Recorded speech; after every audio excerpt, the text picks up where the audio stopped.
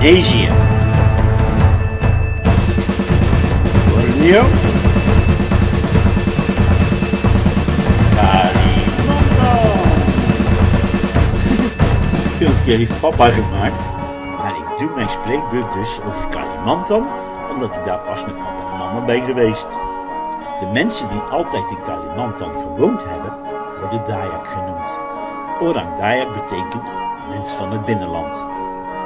Bedoelden ze eigenlijk, die achterlijke inboorling. Maar ze zijn helemaal niet achterlijk hoor. Hier spelen ze gewoon een nummer van Queen. En die film is nog maar pas uit. We will, we will rock you.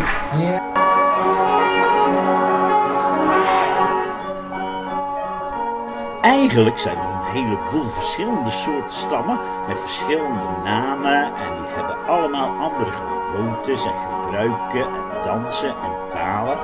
Wel 84 verschillende.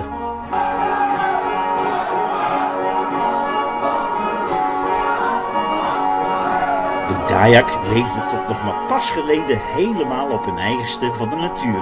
Van vruchten plukken, vissen vissen en jagen met pijpblazen op blaaspijpen. Toen hoefden ze helemaal niet te gaan pinnen om spullen in de winkel te gaan kopen. Heel vroeger al beroemd om hun lange oorlellen met vette piercings. En om hun tattoos met bloemen en andere natuurdingessen. En om hun koppensnellen en om hun lange huizen, waar ze soms wel met meer dan 100 mensen in deze samenwonen. Het symbool van de Dayak is de neusnoornvogel. Maar die zien ze niet zoveel meer vliegen. En die lange huizen, gebruiken ze dan meer als buurthuis. En de meeste Dayakken die nou gewoon in gewone houten huizen wonen, in dorpen. En dan niet eens meer in de jungle, omdat ze daar weg moesten voor palmplantages of wegen. Want volgens de regels hebben ze helemaal geen recht op de grond waar ze woonden, omdat dat niet op papier stond. Met hun tattoos vallen ze nou ook niet echt meer op. En heel veel Dayak jongens en meisjes, willen die lange oren niet meer. Wat jammer, want dat zou wel heel makkelijk zijn voor mobieltjes. en dat koppensnellen, dat mag ook al niet meer. Wat is het dan? De koppenspellen. Nou, d- dat zijn mensen, die maken ruzie en dan vechten hun. En als die dan winnen, hakken hun de koppen af. En dan zetten hun die op palen voor hun huis bij de voordeur. Of soms bewaren ze nog even levend, zodat ze niet bederven. En als er dan iemand gaat trouwen of doodgaat, dat is toch bijna hetzelfde, zei papa. Offeren hun die koppen aan de goden om te laten zien hoe dapper zijn. En dan hopen dat, dat de goden lief voor hen zullen zijn. En, voor de buren ziet het er ook wel stoer uit. Maar de meesten zijn ook christen geworden. En dat mag dan niet meer, dat komt sneller. Nou offeren ze varkentjes. Dat mag dan weer wel. En die kunnen ze dan ook zelf opeten. Wel jammer dat ze nou geen koppen meer snelden. Van bepaalde mensen zouden ze nog best de kop eraf mogen hakken, zei ze. Soms is mama gewoon niet zo aardig voor papa. In Kalimantan zijn heel veel rivieren. Ze noemen het ook wel het eiland van de duizend rivieren.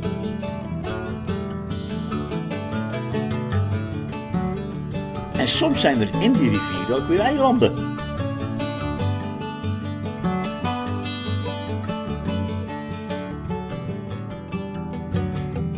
Heel veel mensen wonen aan de kanten van de zee of de rivier of er bovenop. Om geen last te hebben van insecten, slangen en het water als het hoog komt, hebben ze alle houten huizen en wegen op palen gezet. Dat is ook makkelijk om te vissen en om je kleren te wassen.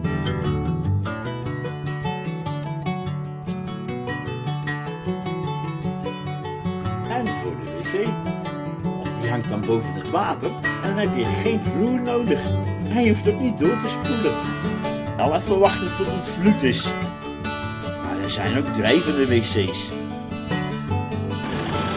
Ook in de stad stroomt overal water in goten. Dat stinkt soms best wel vies. Maar toch zwemmen er nog overal visjes in. Maar geen wc-eend.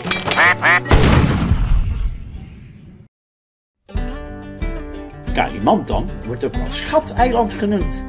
Er zijn hele grote steden gebouwd voor de mensen die er pas bij zijn gekomen. Ook uit Amerika en China en Europa.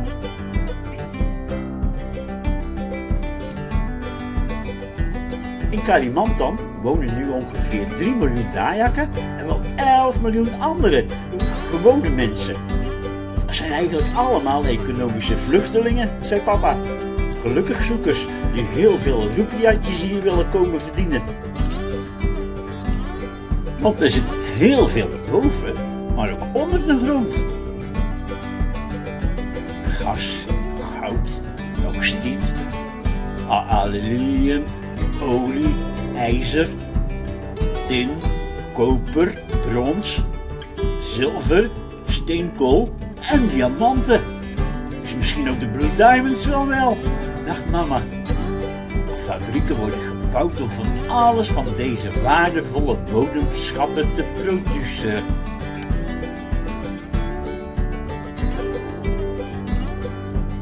En wegen, havens en vliegvelden worden aangelegd om alles te transporteren.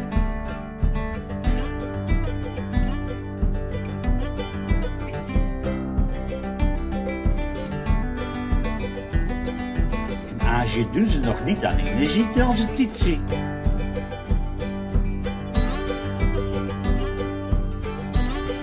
Alleen bij de Hollandse bakkerij gebruikten ze windmolens.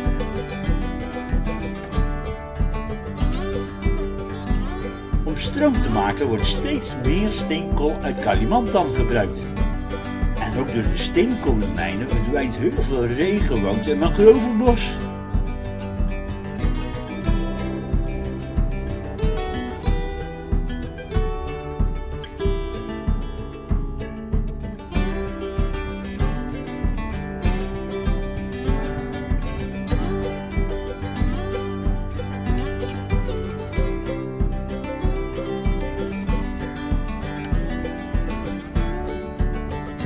In de steden zijn heel veel toko's, meer dan in Nederland.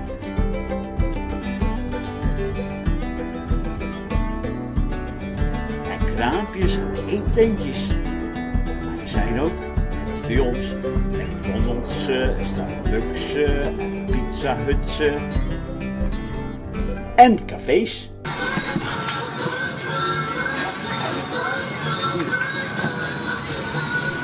In de cafés kon je van alles drinken, maar geen bier. Dat kon alleen in de karaokebars. En dat vond papa best wel vreemd. En hij begreep al helemaal niet dat, je dan ook een kamer moest huren en zo. Snap je toch wel, zei mijn vrouw toen. Zingen. En toen deed ze net alsof ze met een microfoon voor haar mond stond. En toen deed ze die zo steeds heen en weer. En toen werd papa boos. En zei hij dat je alleen maar een bintangetje wilde drinken en niet van plan was om zijn tampeloeris als zangmicrofoon te laten gebruiken. Hè? Ik snap het eigenlijk ook niet zo goed hoor, maar, maar dat mocht hij toen wel. Cool hè van papa. En ze zongen ook nog allemaal dat liedje van Zoomie mee, zei hij. Maar het refreintje dan, die coupletjes die konden ze niet zo goed verstaan. Maar wel allemaal zonder microfoon.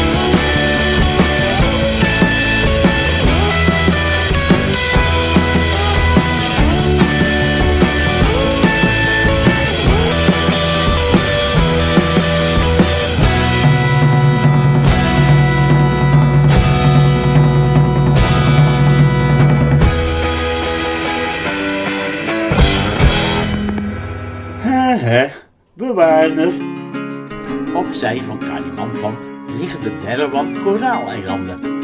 Er zijn 31 eilandjes die een naam hebben. Ze zijn vooral de roep bij duikers en er wordt ook naar parels geduikt. Derrewan zelf ligt het dichtste bij Kalimantan. Er wonen net zoveel mensen als in Kruisland. Je kunt er een uurtje rondfietsen. Hoeveel mensen wonen er in Kruisland? Ja, ik veel. Kan mij er nou schelen? Eh, nou, gewoon net zoveel als in Derrewan. Overal zwemmen zeeschildpadden en, en, en andere visjes.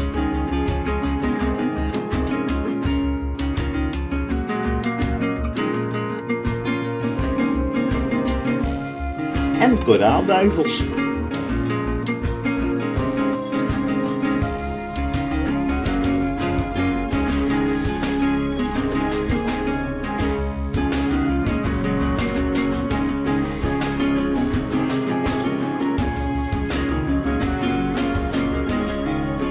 Zijn zwarte en witte reigers die allemaal ruzie maken.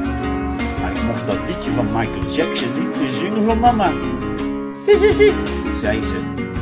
Het maakte niet zoveel indruk.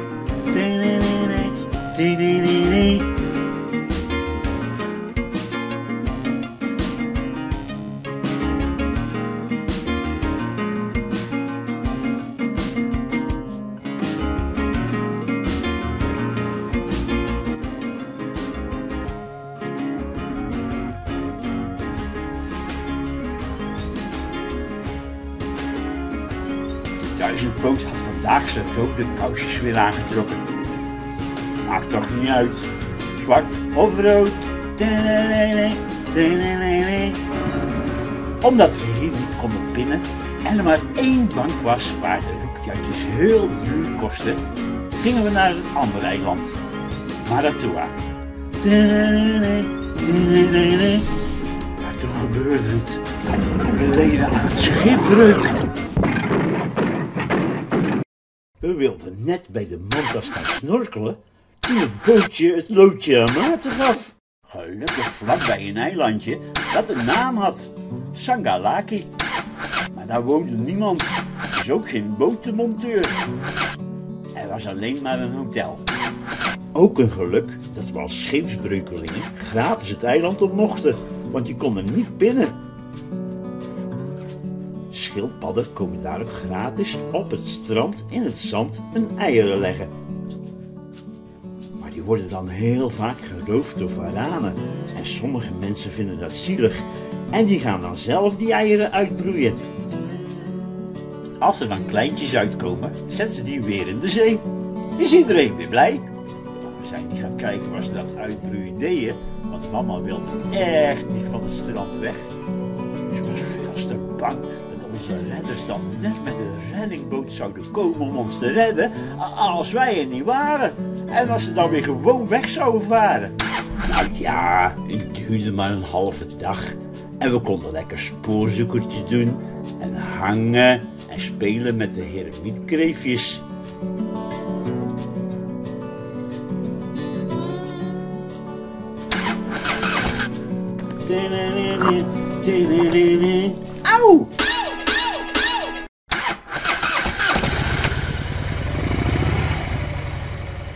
Met een andere boot konden we verder. Kakkerpan is een meer waar je kunt zwemmen met kwallen. Echt iets voor jou, zei mama tegen papa. Wil jij je wel bij thuis? En niet leuk van mama. Papa is helemaal geen Duitser en graaft geen kuil op het strand van de Dishoek.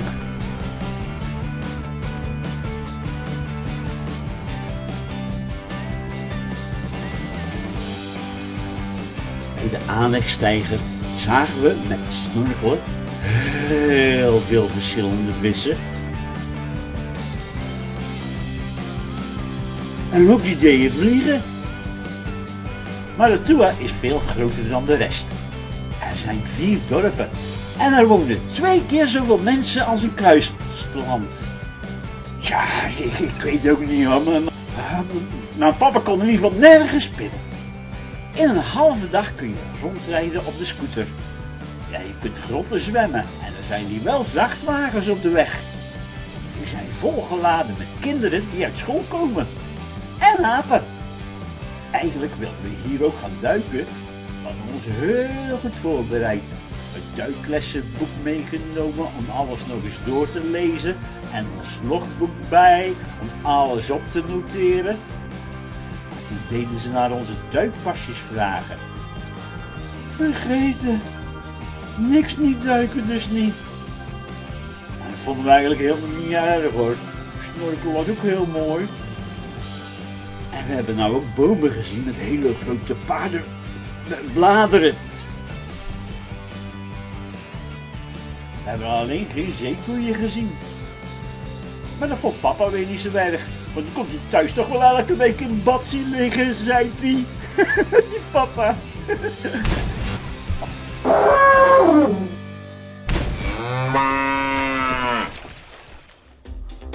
Omdat mama nou toch niet naar parels kon duiken en papa op die eilandjes nergens kon pinnen, gingen we weer naar Kalimantan zelf met de speedboottaxi. Er waren heel veel flippers die allemaal deden springen. Toen zagen we het. De mensen die achter in de boot zaten, die deden alles wat ze niet meer konden gebruiken, zo in de zee kieperen. Nou wisten we dus wie, wie die rotzooi allemaal deden maken. Papa heeft er een liedje van gemaakt. Dat doet opluchten, zei hij. Mama vindt het niet zo leuk als papa gaat zingen. Maar ik weet niet hoor. Als je daar opgelucht van wordt, is het toch beter dan met boeren of windjes laten of zo. Dat is dan ook weer milieuvervuiling. En als papa een windje laat vliegen, is dat zelfs een milieuramp. Ik trouwens niet hoe die aan die tekst gekomen is hoor, van dat liedje. Hij kent helemaal geen Indonesisch.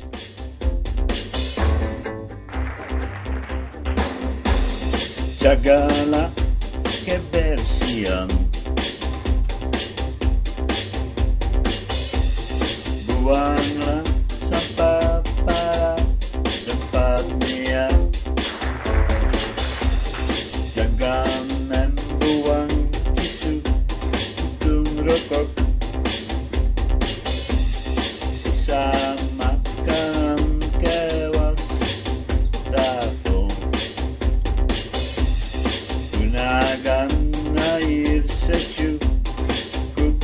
minha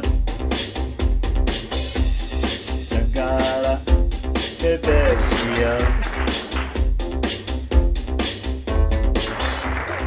Jangara Rebeldia Jangara Rebeldia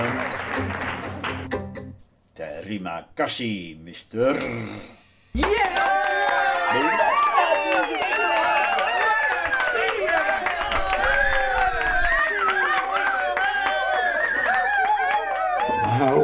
Zal tegen papa zeggen dat hij heel veel klappen kreeg.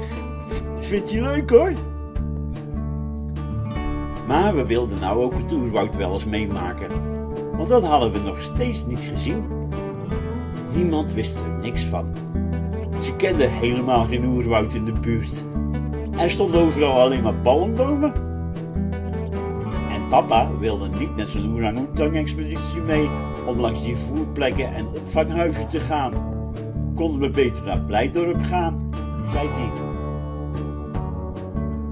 Via internet en de buurvrouw van dit secretariaat in Neas Liabing kwamen we bij een meneer in Neas Liabing terecht die de vertegenwoordiger van Dayak Wehea en Dayak Bahouvolk was. Zij hadden nog een stukje oerwoud kunnen redden. Wehea Nationaal Park. En hij deed nog steeds zijn best om zoveel mogelijk regenwoud te laten bewaren. Maar de Indonesische regering kon het allemaal niet zoveel schelen, zei hij. Want ja, de longen van de wereld gezond te houden, wordt Indonesië niet rijk. Soms zijn het net Nederlanders. Hij woonde nou zelf al 90 kilometer van het park, het regenwoud af. Zijn dorp, Nias Liabing, had al verschillende keren moeten verhuizen voor plantages en wegen. In zijn tuin, in Liabing, had hij een mooi schuurtje met hele gave boten. En daarbovenop lag nog een houten neusnoornvogel. En Neas Zijn dochter regelde dat we in de jungle konden logeren en dat we met genoeg eten en drinken en pas gewassen klamboes weggebracht werden met een, hele grote auto. Toen we aankwamen, zagen we die meneer waar we net waren geweest op een bord geplakt. Maar nou een hele mooie Daya-kleren. U bevindt zich in het beschermde bos Wehea, mogelijk gemaakt door een culturele dorp Neas Liabin staat erop.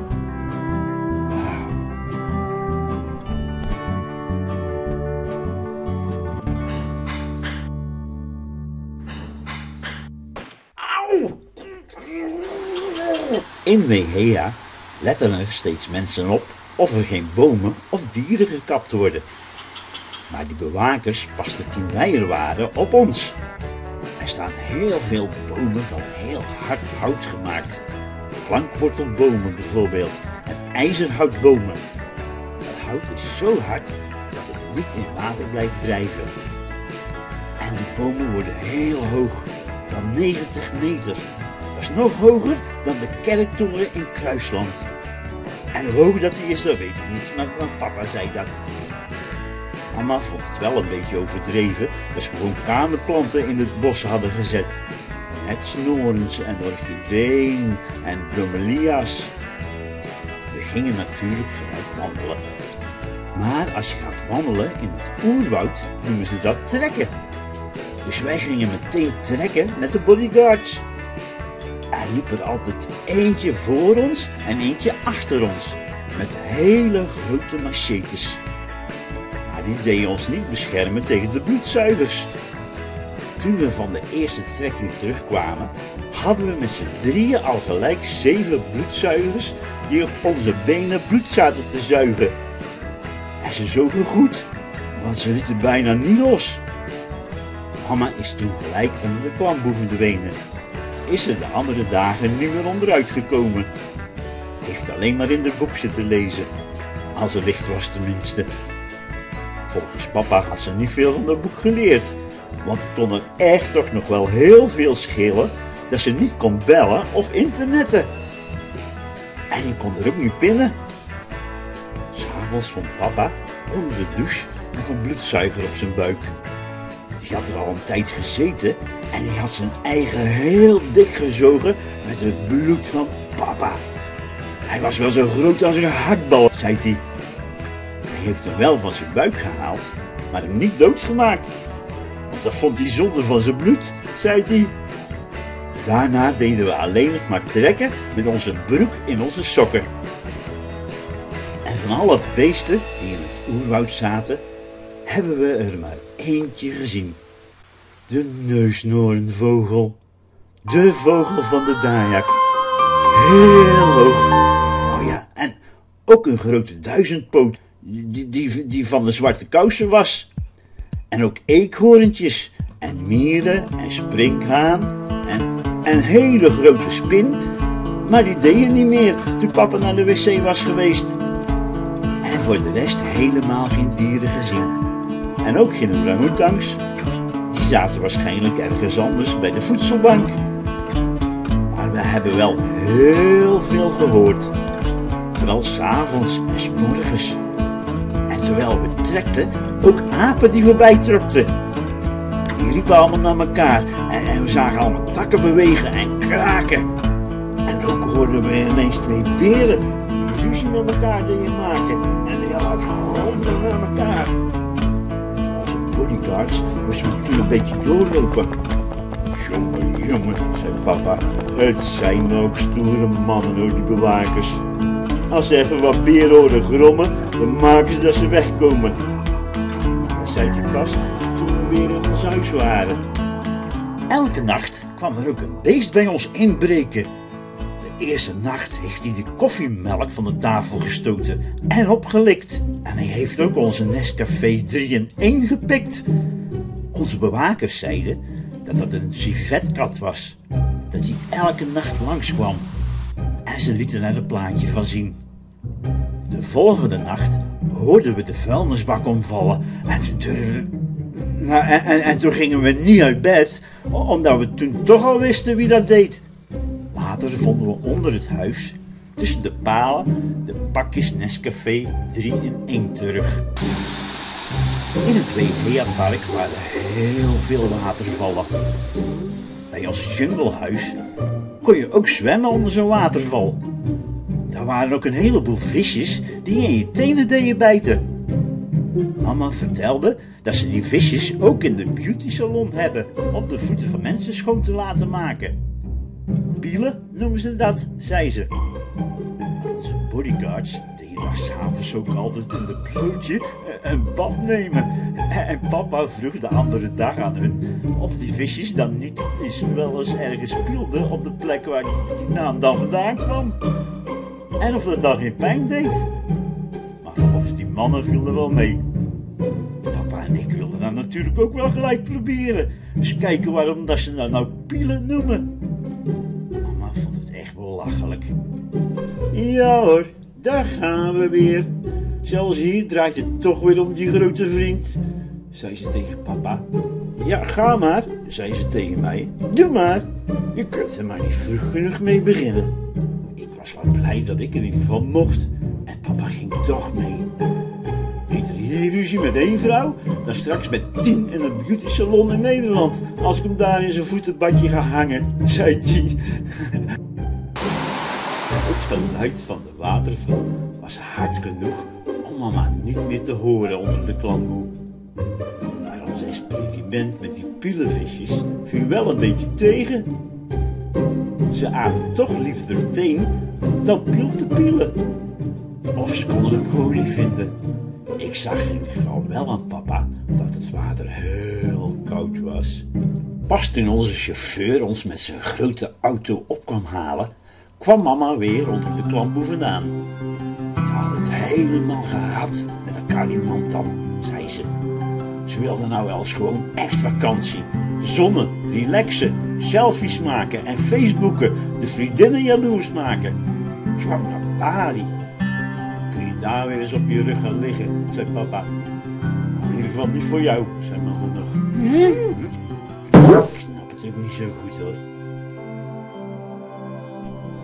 Onderweg met de bus naar het vliegveld van Balikpapan zagen we heel veel kale stukken rode grond. Heel veel afgebrande bomen en eigenlijk helemaal geen oerwoud meer. Maar wel heel veel palmbomen. Onderweg stopte de bus elke keer om te plassen of om te eten. Maar papa kon nergens binnen. Maar waar kon je pa dan wel binnen? Nergens! Papa was op de eerste dag van de vakantie zijn bankpasje kwijt. Gelukkig had mama al de zwarte centjes meegenomen, want die konden we nou mooi gebruiken om te overleveren. Eigenlijk had mama met die centjes best een ijzerboomwortelplankenhouten lichtbank willen kopen, zei ze, om op te liggen. En een tuinstel voor in de tuin. Nou, dat is dan alleen maar goed voor het milieu, zei papa. En toen werd mama niet meer aardig. Papa bedoelde helemaal niet dat het slecht was voor het milieu als mama buiten ging liggen. Hij bedoelde alleen maar dat er dan minder bomen omgehakt hoefden te worden. Zal mij een rotzorg zijn, zei mama toen. Oh, maar dat meende ze niet hoor, denk ik. Ze wilde papa alleen maar op de blaren jagen. Uh, ja, op de stang laten zitten. Auw! En toen vlogen we dus naar Densapar op Bali. Dat was ook leuk. Maar daar doe ik volgend jaar mijn spreekbeurt wel over. He heeft er nog iemand vragen? Waar gaan jullie volgend jaar met de vakantie naartoe? Oh, dan gaan we zwemmen met haaien. Maar mama gaat niet mee. Daar zei ze zelf tegen ons. Volgende vakantie kunnen jullie naar de haaien gaan met z'n tweeën, zei ze. Maar je, als je ma daar niet mee gaat en je pa nog steeds geen werk hebt en dan weer zogenaamd zijn bankpasje kwijt is, hoe kun je dan overleven? Uh, nou, dat was mijn spreekbeurt dan over Kalimantan. Nee, nee, nee, nee.